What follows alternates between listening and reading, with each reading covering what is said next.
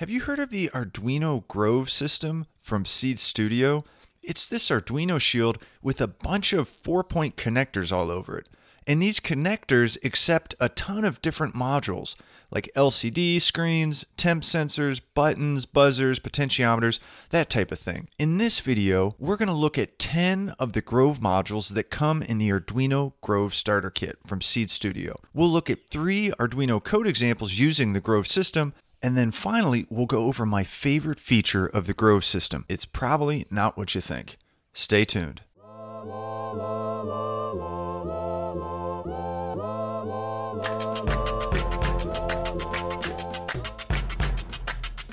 Are you trying to figure out this whole Arduino thing? If you want to get a jumpstart into Arduino programming, you should check out Programming Electronics Academy. We have a membership program that kind of walks you through step by step how to program Arduino and use it and build cool stuff. If that sounds interesting to you, check out the link in the description. Well, I got this Arduino Grove starter kit in the mail the other day, and you know, for the longest time I thought it was the Groove system, but I've been schooled and it is the Grove system. I'm still working on this whole English language thing. Anyway, what is this Grove system exactly? Well, the Grove system is essentially two things. There's an Arduino shield, and then there's a bunch of different electrical modules. The shield connects to your Arduino board and maps out a bunch of the Arduino pins to these four point connectors. And the electrical modules also have four point connectors. To connect a module to the shield, you simply use a little ribbon cable. So the whole idea of the Grove system is that you can create circuits by simply plugging in different modules into the Grove shield. So let's take a look at the Grove starter kit and see what comes in it. First, there's an I2C LCD that has an RGB backlight. Notice the connector on the LCD module. You're going to see a connector exactly like this on all of the modules. It's that standard Grove 4-point connector. Now, below the LCD module in the kit, there's the Grove Shield itself.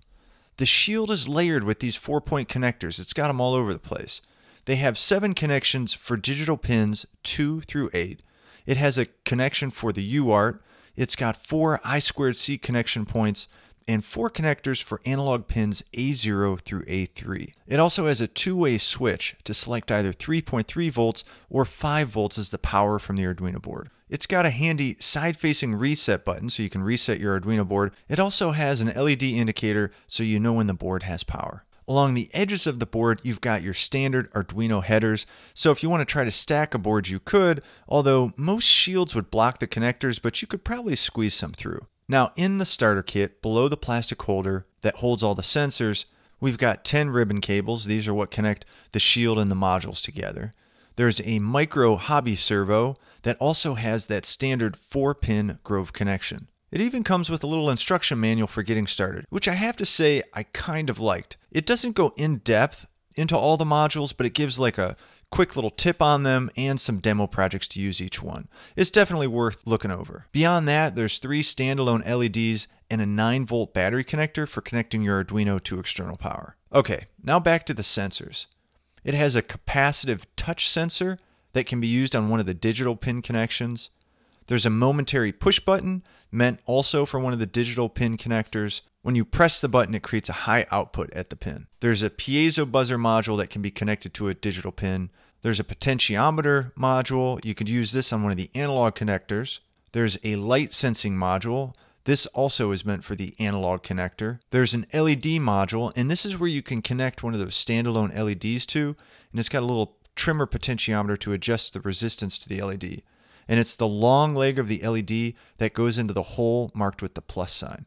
Then there's a relay module that's meant to be used with one of the digital connector points on the Grove shield. There's a temperature sensor, and that's meant for connecting to one of the analog connectors. And then there's a sound sensor that uses an Electret microphone, and that's meant to be used with one of the digital pins. So that's a handful of really common sensors and output devices that you might want to be using with your Arduino in the first place, and this is literally plug and play for these modules. So let's check out some code. So there's a GitHub repo where you can grab all of the code examples that go for the different modules in the Groove starter kit. I downloaded the zip file of all the examples and then I saved the sketches in the Arduino folder in my documents. There's also a library in there for the LCD, and I took that library folder and put it into the libraries folder in my Arduino sketchbook folder. So once you've put those code examples in the appropriate folder and you open up your Arduino IDE, then you can go to File, Sketchbook, and you can go, I put all that those code examples in an, in an enclosing folder called I called Grove, and then all those examples are right here. And so let's just go ahead and start with that first one. I'll open up the Grove button and it's got the code right here and it's saying, all right, they've got a pin button attached to pin 3 and then a pin LED attached to pin 7. So I guess I'll just go ahead and connect these the button module to the Grove and I'll connect the LED module and I'll use 3 and 7. So digital pin 3 and digital pin 7. Okay, I'll go ahead and upload this code. Now it looks like if I press the button, the LED is going to come on. If I'm not, if I don't press the button, the LED goes off. So let's check that. All right, working like a champ. Okay, that was pretty cool and really easy to, to do. Okay, let's look at another example. Here's that sketchbook again down to the Grove where I put the files. And let's check out the rotary angle sensor, aka that's a potentiometer. Okay, so they've got the potentiometer connected at A0. So I'm going to take that potentiometer module and I'll just connect it to the A0 port on the Grove Shield. Let me do that. Now that was pretty easy, but you still have to be smart enough to know which direction the connector goes. So for me, that can be a stretch sometimes. So this program is reading the value at pin A0, so where the potentiometer is attached, and then it's printing that value to the serial monitor window. So I'll upload this code, then I'll open up the serial monitor window. Now I'm going to adjust that potentiometer and see Okay, yeah, it's adjust. So the value I should get is between a 0 and 1023, and the potentiometer is dividing, it's acting as a voltage divider between 5 volts and 0 volts. So that's uh, that's how that's working. So that's pretty cool. Again, pretty darn easy. And notice I just left those other connections there. I didn't think they'd hurt, and it doesn't look like they are. All right, let's check another uh, program out. Let's try, let's go here to File, Sketchbook, Grove. Let's take a look at that RGB backlight LCD. And we'll do the Hello World example. So I'll go ahead and upload this code. And it looks like this is just printing Hello World to the LCD. And then it prints the number of seconds since the last reset below that.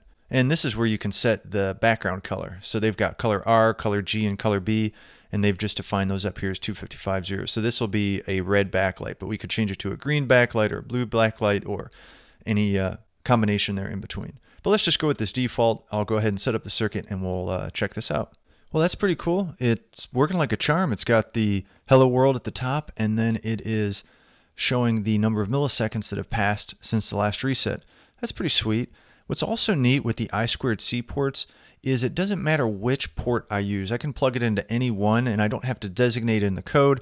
The board is just going to automatically pick up the port that I have it attached to. Pretty cool well, what if I wanted to add a servo to this? What if I just wanted to play around with the LCD and add a servo?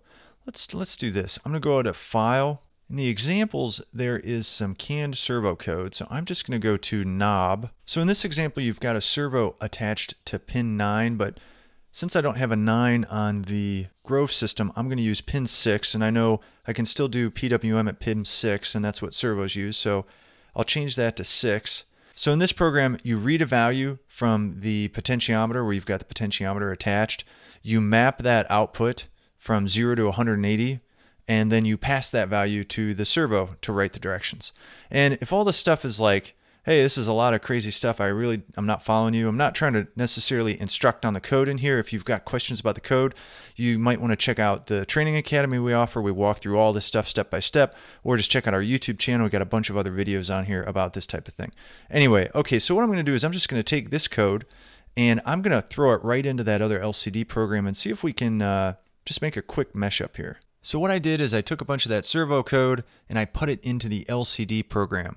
So now when I move the potentiometer, it's going to move that servo. And in addition to that, the direction I've moved that servo, what position it's at between 0 and 180, that is going to show up on the LCD. Now, I didn't do a great job printing to the LCD, and if you can catch it, let me know in the comments if you see where I screwed up. But anyway, that's pretty slick. I've got this stuff up and working in no time just with the matter of connecting a couple things. Kind of like it. So my favorite feature of the Grove system Well, it might be kind of lame, but I just like that it's easy to make the connections and that the connections don't click in. So it's just like a snug fit. You can push it in and then pull it out. There's no like clicking that you you know that like holds it in there and then you have to kind of unclick it.